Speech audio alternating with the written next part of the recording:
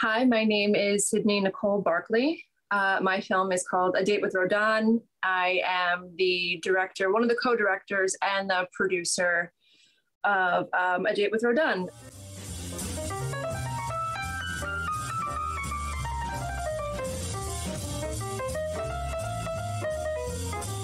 Uh, a Date with Rodin is a film about a young girl who goes on a, a blind date, essentially, with um, someone she's never met before, obviously, and chaos kind of ensues as uh, she realizes that she and this person could not be more different from one another if they try. And they do try.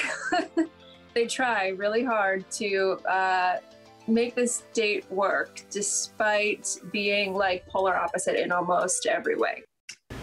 Oof, could that guy be any more of an asshole or what? I heard he's going to space with Bezos next year.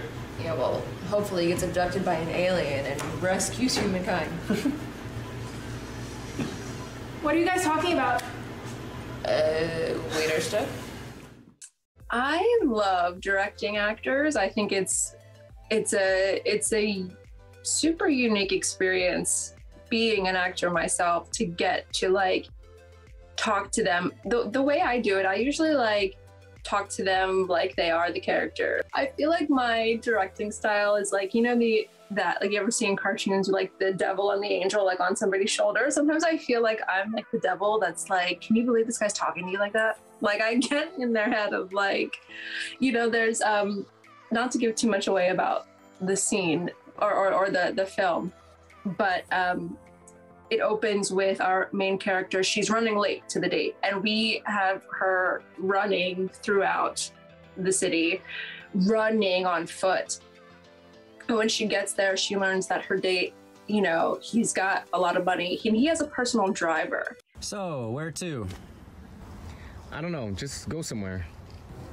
And I like, I pulled her aside and I was like, So you mean to tell me that you ran all the way here and he has a driver? Like, why didn't he pick you up? Like, I, I got in her mind. Like, I loved like getting into their psyche and like essentially like talking smack to them about like gossiping about the other characters.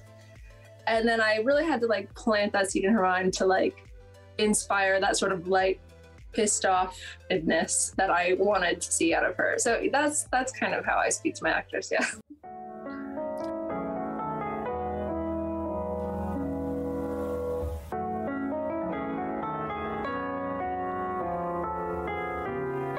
I wanted to make a film that was like easily digestible and that sort of left people feeling like, oh, is it over already? Like I that was, you know, yeah, that, that that's my hope that that people can um, relax into this journey that these characters go on from beginning to end.